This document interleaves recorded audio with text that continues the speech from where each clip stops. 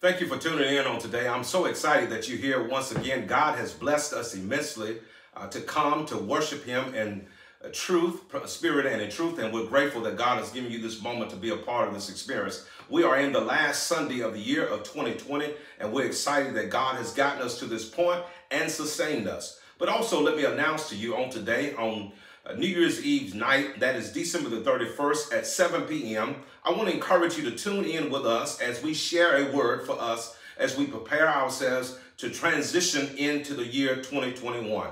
And that is uh, December the 31st at 7 p.m. I want to encourage you to, to tune into the same location, the same station, um, the same um, place where you can hear the word of God. We do want to encourage you to do that. Invite your family, invite your friends. That's on December the 31st New Year's celebration at 7 p.m.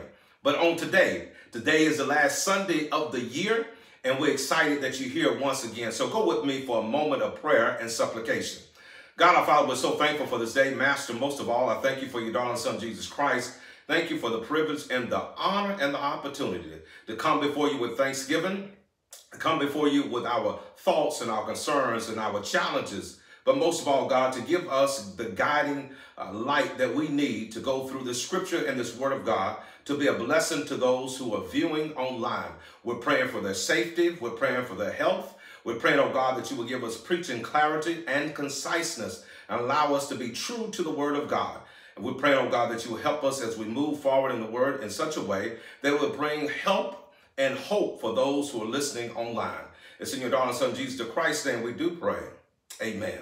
Once again, I'm excited that you're here, that God has blessed us to be a part of this experience on today. God has continued to truly bless us over and over again. So I want to look at the second part of this message, the game changer, part two. The game changer, part two. Look at Isaiah chapter 9. Isaiah chapter 9 and verse number 6. Scripture reads as follows For unto us a child is born, unto us a son is given and the government shall be upon his shoulder, and his name shall be called Wonderful Counselor, the Mighty God, the Everlasting Father, the Prince of Peace. The Game Changer, Part 2. New ideas for innovative products and businesses are formed every day, yet few successfully disrupt their respective fields.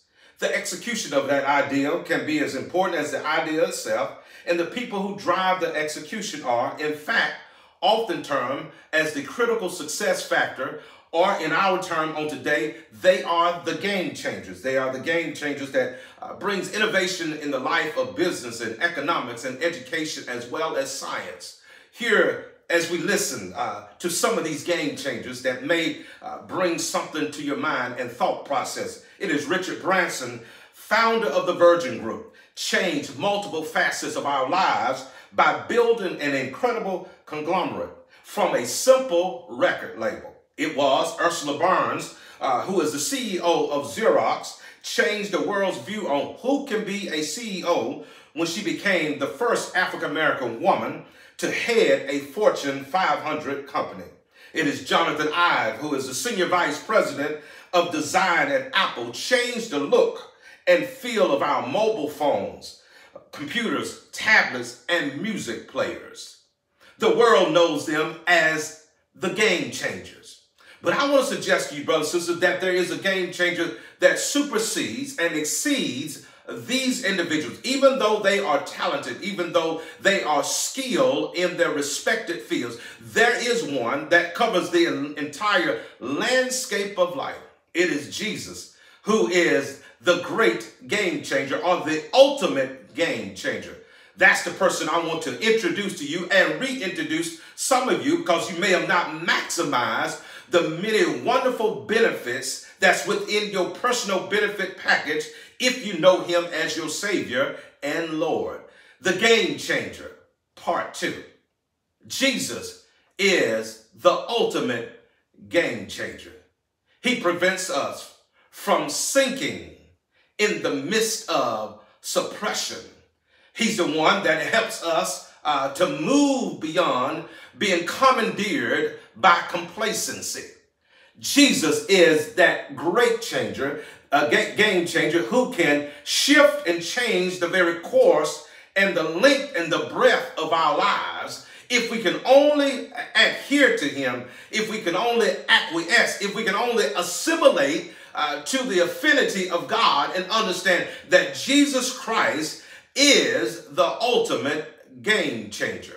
So if you are sinking in the midst of suppression, if you've been commandeered by complacency, if you have been baffled by burdens, if you have been perplexed by your problems, then I want to introduce to you somebody that can move you from the mode of mediocrity and meandering in a place of misery. And that is Jesus Christ, who is that ultimate game changer. Do you need a game change? And do you need something to shift, something to change, something to happen significant in your life so that you can experience the blessings of God, the abundance of God, and the prosperity of God? So let me introduce you to, or reintroduce you to the game changer. Here we are in the midst of our text, brothers and sisters. It is that place in space where there is gloom and doom in the midst of this era. It's the midst of uh, darkness and despair and discouragement, and the people of Judah need a game change.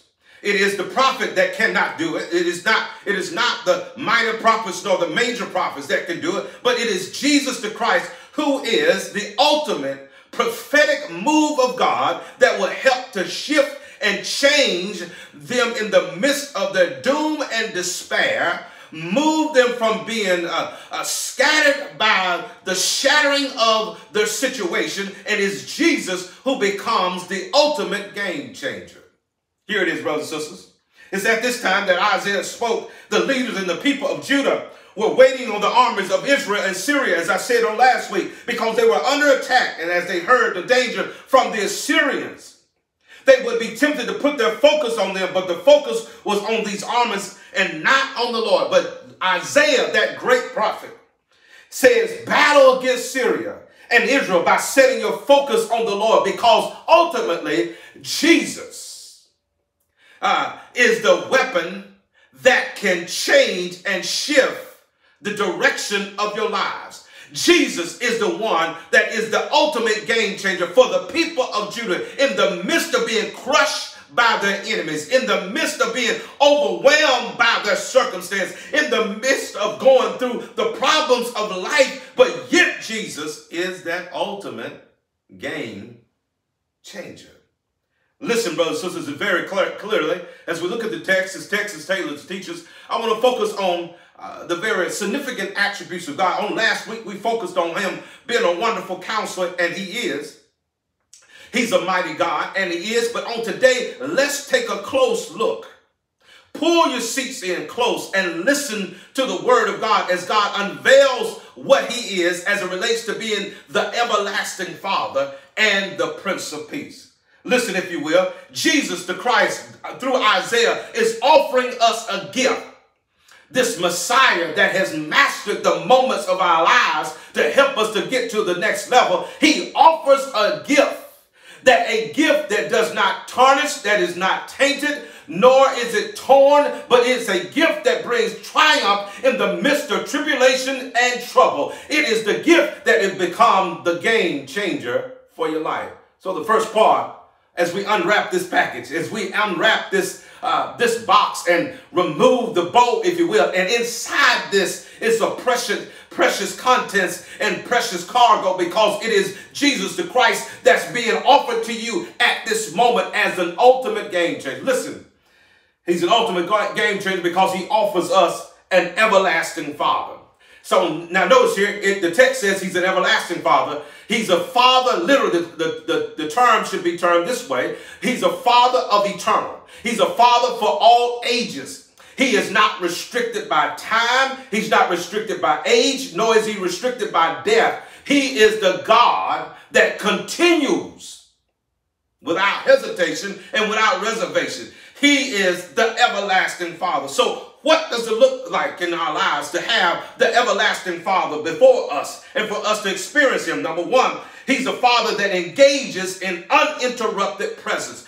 The fact that He is the everlasting Father suggests to us that he has an uninterrupted presence. Isn't that good news? No matter what you're going through, what you're experiencing in life, whether you have been jolted on your job, whether you have been ridiculed in a relationship, you have an everlasting Father whose presence is uninterrupted. You know that he will hang out with you in the midst of your heartaches. You know that he'll stand up with you in the midst of in those shattering moments. His presence is uninterrupted. You don't have to worry about friends shifting him. You don't have to worry about family shifting him, but his presence is uninterrupted.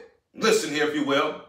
There are some proof texts that suggest that his presence is uninterrupted. Listen to Moses as he clarifies it when he says in Exodus chapter 33, he says, My presence shall go with you and I will give you rest. He says, My presence shall go with you, and I will give you rest. And you got to understand that during this particular time period, the children of God are in the midst of a wilderness, in the midst of a dark moment, in the midst of a, a perilous moment, in the midst of a risky moment. But God the Father, He's not just anybody, but he's the father of eternal. He's the father of all ages. He is not restricted by age, nor death, nor situation. He's the everlasting father. And he says, My presence shall go with you. Through the flood, through the rain, through the fire, he said, I will go with you. He says, I won't duck out. I won't move myself from it. I won't slip away. I won't tip out, but I will stick and stay. He's an everlasting Father because of his uninterrupted presence. Listen to what the psalmist says. He says, You will make known to me the path of life, and in your presence is the fullness of joy. In your presence is the fullness of joy. No wonder Nehemiah says that the, that the joy of the Lord is my strength. No wonder the Apostle Paul epitomizes the word joy in the presence of God in the book of Philippians because he understood as long as God's presence was available no matter what pushed against him, no matter what tried to parlay him, that Jesus the Christ presence was always available. Even if you're being jolted on your job, even though you're being ravaged by a relationship, you know that there is somebody that will stick and stay with you through thick and thin. The Father that engages in an uninterrupted presence, a Father that engages in uninterrupted protection. Listen what Isaiah says. He says, No weapon formed against you shall be able to prosper. And every tongue which rises against you in judgment shall be condemned. This is the heritage. Notice this. This is your heritage. This is what's that comes from the last will and testament to give to the people of God. This is your inheritance. And there's righteousness from me or vengeance from me. He says, No weapon formed against you shall be able to prosper. That's what life is like. When you have an everlasting Father, you don't have to fight, you don't have to fuss, you don't have to cuss because God serves as your protection. God is your protection when you don't even know that you're being protected. God is your protection even when others are trying to come against you and your foes are trying to rob you and trying to destroy you and disrupt your life. He, they don't even realize that God has a shield around you. Why do you think that when Job was in the midst of minding his own business, doing his own thing, and the ultimate enemy tried to come and disrupt and devour and destroy Job. But, but God says you can take away everything. He says, but I will place a hedge of protection around him. Hmm. Listen, he's an everlasting father because of his uninterrupted presence. He's an everlasting father because of his uninterrupted protection. But he's an everlasting father because the father engages in uninterrupted provision. Listen, what? Listen as we think about the story of, of a major prophet uh, and Elijah. In the book of Kings, chapter 17, it talks about uh, what God can do with an empty barrel. You remember that story in which the, the widow woman comes with a few sticks and a, a little oil in a jug and a flour, uh, flour in a jar, and she comes before the prophet, and the prophet tells her, Don't be afraid, go home and do as you have said but first make me a small cake. But notice what happened as she goes through the midst of that. Now we see God's work done in God's way, and we'll never let God supply. And immediately she did exactly what the prophet said, which is representative of who God is and the everlasting Father and his provision. And as a result of that, she did exactly the way God told her to do. For the jar of flour was not used up, the jug of oil did not run dry in keeping with the word of the Lord spoken by Elijah. God shall supply all your need according to the riches of glory. He says, Paul says, I have learned therewith to be content, to be high and to be low, because I know that God is going to supply all of my needs according to my riches and glory. Well, if the children of Israel was here today, they would tell you as they were wandering and meandering throughout the wilderness, it was God that was able to rain down manna from heaven and feed them. And the Bible says that their feet did not wax over or wax uh, wax uh, in a place where it is torn or disrupted, but they will not worn out. But God sustained them because of his provision. He's an everlasting Father because of his uninterrupted presence, because of his uninterrupted protection, because of his uninterrupted provision. God will supply all of your needs. Isn't it good, good news to know that he's your Father? He's, he's much more than a father. He's intimate. He has built a relationship. He's concerned about you. He's in love with you. He's compassionate about you. He has a desire to be there with you. He, he's able to stick through the thick and thin when others have walked out on you. He's an everlasting father. Listen, there was a CEO of a major nonprofit that stated that his kids can always get through to him in the business of times. They can still get through to him because he is their father. The CEO told his, his assistant that whenever his family calls, to always put them through. He stated that he may not be able to talk to them long each time, but he would at least have a conversation. But he wants them to know that thousands of clients or employees don't get in the way of him being their father. The good news, brothers and sisters, just because God is God of the universe, that doesn't mean that he is getting in the way of him being your father. Even though he's got millions and millions and millions and millions of children of God that he must govern, he's still your daddy. And as our Father God makes himself available to us, why do you think that Paul says that he let your moderation be known unto God because the Lord is at hand? He's an everlasting Father. The game changer happens because he's an everlasting Father. The game changer continues because he offers us the Prince of Peace. You go back to Isaiah chapter 9, verse 6, and you see the latter part. He says, in, in chapter 6, he says again, he says he offers us an everlasting Father. The next part of the text says, and now he offers us the Prince of Peace. Brothers and sisters, a Prince of Peace. What does the Prince of Peace to offer to you? What is the benefit of having the Prince of Peace in your life? How advantageous is it to have the Prince of Peace when your life may be riddled with conflict? How, how advantageous is it to have the Prince of Peace in your life when life seems to have its moments of chaos? How advantageous is it to have the Prince of Peace in your life when it helps you to be able to go to bed and go to sleep at night because you know that the Prince of Peace is available and he is accessible and he allows us to benefit from the peace that he has to offer unto us. He offers us the Prince of Peace. So the Prince of Peace prepares us with a new status. Notice, if you will, brothers and sisters, ladies and gentlemen, John the 14th chapter, verse 27, he says, Peace I leave with you, my peace I give to you, not as the world gives, uh, do I give to you. Uh, let not your hearts be troubled, neither let them be afraid.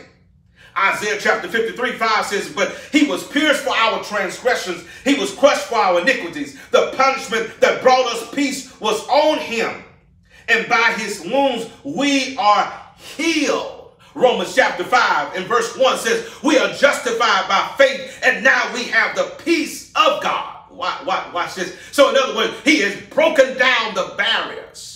We're no longer living behind the enemy lines of darkness and despair, discouragement and depression, but we have been, been rescued. We have been snatched from the jaws of death, and God has brought us across the enemy lines. Whereas before we had no hope, we had no help, there was no possibilities, and there was no probability. But because Christ, God, broke down the walls, now there exists a peace treaty between you and God. No longer are you an enemy of God. You're now a child of God. You've been redeemed by the blood of the Lamb. He brings life and brings more abundantly into you. He supplies your needs according to the riches and glory. You have all the advantageous uh, benefits of knowing God. You have a benefit according to Ephesians chapter number one. God the Father, God the Son, and God the Holy Spirit. And as a result of that, now you are in harmony with God. Now you are in sync with God. Now you are in a good place with God. The Prince of Peace prepares us with a new status because of what he has given, because of what he has granted, and because he has rescued you from the clutches of the enemy. You're no longer living behind enemy lines, and now God has created a spiritual army. And brothers, there's something about having the peace of God in your life. It makes all the difference in the world. Brothers and sisters, ladies and gentlemen, the Prince of Peace prepares us with a new status because of what he's given, because of what he's granted, and because he's been willing to grab us, glean us, and gather us from the clutches of Satan. We have a new status. And that peace gives us that new status. But not only the Prince of Peace prepares us with a new status, but the Prince of Peace prepares us with a necessary stabilization. Listen, if you will. The Bible says in Isaiah 26 and 3, it says, You will keep in perfect peace those whose minds are steadfast because they trust in you. Trust in the Lord forever, for the Lord, the Lord himself, is the rock eternal. Now we got the peace of God with the new status. But now we got peace with God because we have now a necessary stabilization. He will keep your mind. He will keep your heart. He will keep you stabilized and focused and balanced. Stable, not unstable. Poised, not erratic. Cool not over the top, calm, not beyond the moment of stabilization, but calm, pause in a moment of tranquility when all of life is falling apart. That's what Paul says. Paul says, it's the peace with God. And the peace of God shall keep your hearts and minds through Christ Jesus. Literally, he says, I will will, will, will send a 24 hour, 20, 24 hour, seven days a week guard. And I will keep your mind stable. I will keep you tranquil. I will keep you calm. I will keep you poised. I will keep you balanced while all of the world is going to hell in a handbasket and all of the chaos is going on around you. God says, I am the peace. The Prince of Peace prepares us with necessary stabilization. Can you imagine? While everybody else is tripping, while everybody else is pulling their hair out, while everybody else is falling apart at the seam, people are wondering pondering how is it that you still remain at peace? Because I've got the peace of God and I've got peace with God. I've got a new status, and I've got necessary stabilization. But notice here, the Prince of Peace offers me a new status, necessary stabilization. But the Prince of Peace prepares us with a non negotiable standard. Now that I have peace with God, I have the peace of God, then I'm able to extend that peace. God brought peace between God and humanity. God brought peace between the Jews and the Gentiles. And then he says to us that if you're going to be a child of God, then you have to be a peacemaker and peaceable and a desire to see the gospel of peace being proclaimed in the lives of others. Listen to what Matthew says. He says that blessed are the peacemakers, for they shall be called sons of God. One translation said, children of God. When you got peace with God and you got the peace of God, you have no desire bringing, uh, sowing uh, uh, seeds of discord or deceit and evilness. But when you have the peace of God and the peace with God, you are desiring to be a peacemaker, not a peace breaker.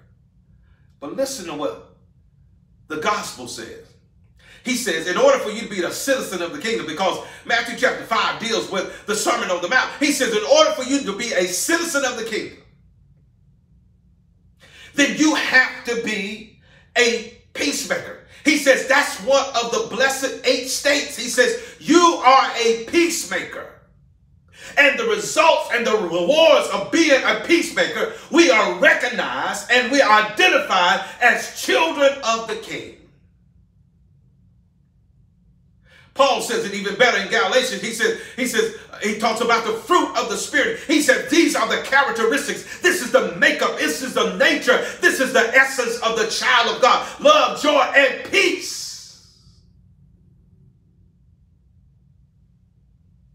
Question hour. Are you a peacemaker or are you a peace breaker? And if you're a peace breaker, there's a possibility you have no relationship with God. But if you specialize in being a peacemaker, that does not mean that you're walked on. Sometimes it's a thankless job. Sometimes people don't understand and reap the benefits and understand the rewards until later on down the line. But the fact of the matter is your desire is you are to be, as Paul says in the book of Corinthians, to be involved in the ministry of reconciliation. Blessed are the peacemaker.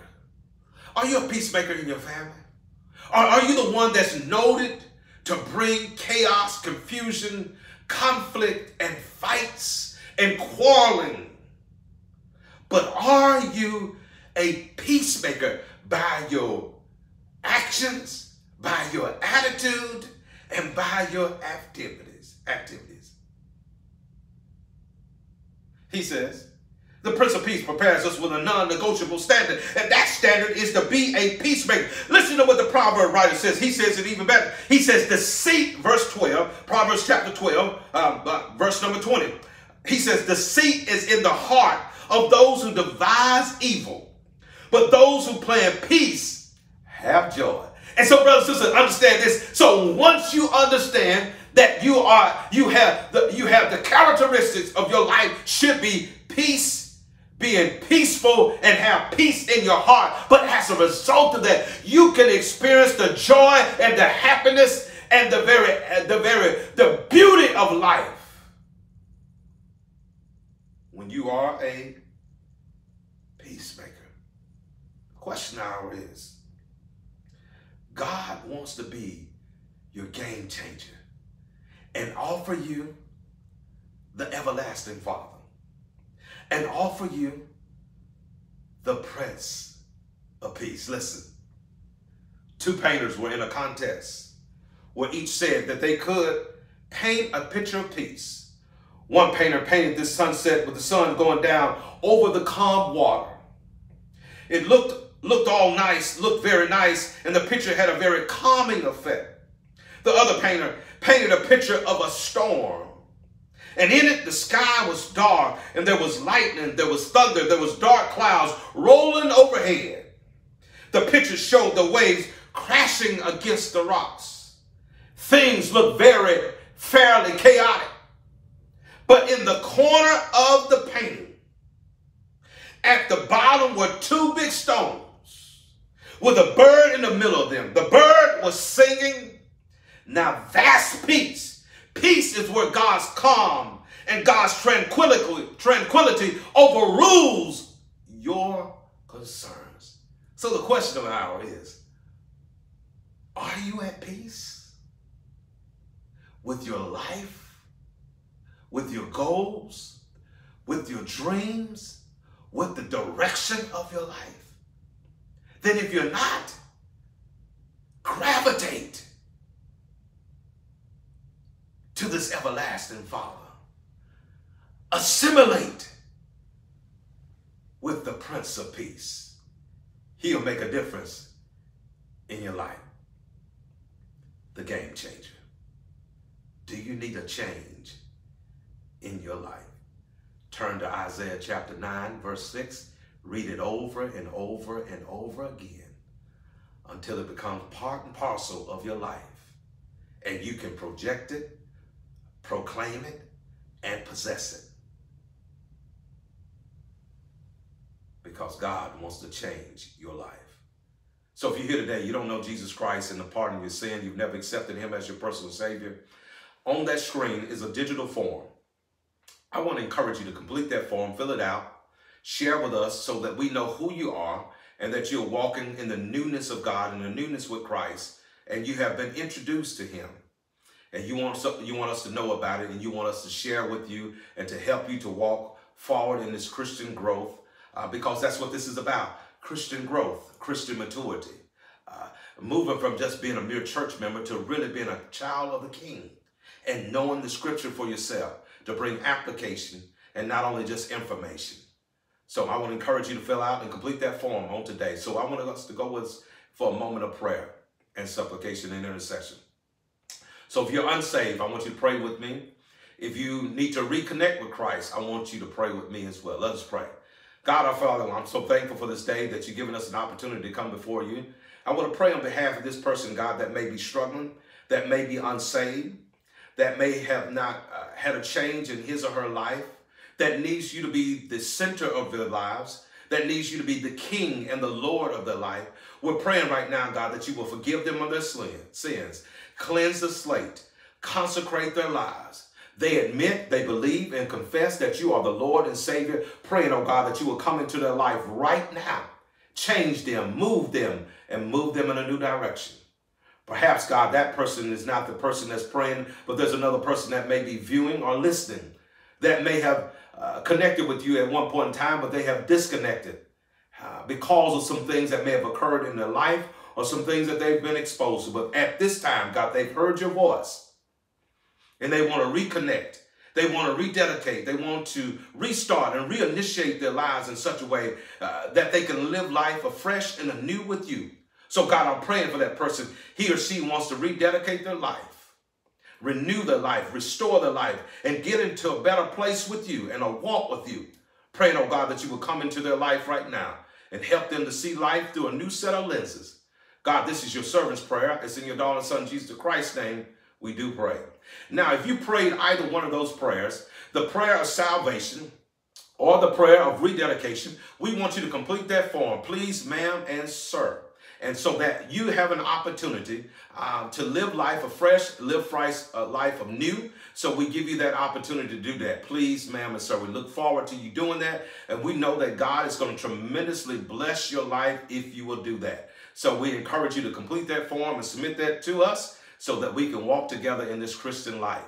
So I want to encourage you, remember what we said at the beginning of the uh, broadcast of the, uh, uh, the, the preaching moment is this that New Year's Eve uh, is on December the 31st. I want to encourage you to tune in with us at 7 o'clock p.m., where we will share a message that will help us to transition into the year 2021. I want to encourage you to be there. Please, ma'am and sir, invite your friends, invite your family, and all of those that you can to be a part of this experience at 7 o'clock p.m. December the 31st at 7 p.m. I want to encourage you to be there. That is New Year's Eve's service. Now, I do also want to encourage you, remember that we'll be back again on the first Sunday, which is January the 3rd, um, 2021. It is amazing that God is getting us to that point, but that will be another opportunity where we can worship together and celebrate together. We will have our Lord's Supper. So we want to encourage you, if you're not a part of a local church and you want to participate and you have been saved, you know Christ for yourself, and you want to participate in this moment of the Lord's Supper, I want to encourage you to get some grape juice,